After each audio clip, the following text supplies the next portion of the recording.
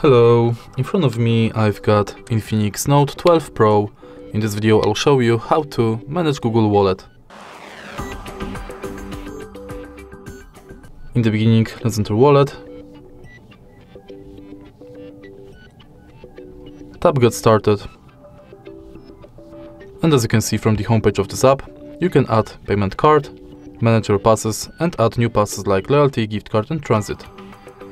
If you go to menu, you've got access to all of your payment methods, full list of participating banks,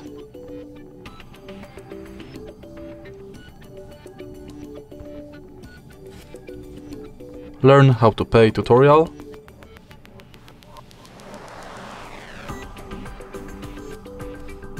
and your activity. In settings, you can enable or disable email updates, Gmail imports, personalization within Google Pay, purchase notifications, updates about your passes, offers and tips, and you can edit your account info. Also, you can go to contactless setup, which is unavailable on this phone because it doesn't have NFC. And then you can go to help and support, send feedback, and in the end, you can manage your Google accounts. And that's it. If you find this video helpful, please leave like, comment and subscribe.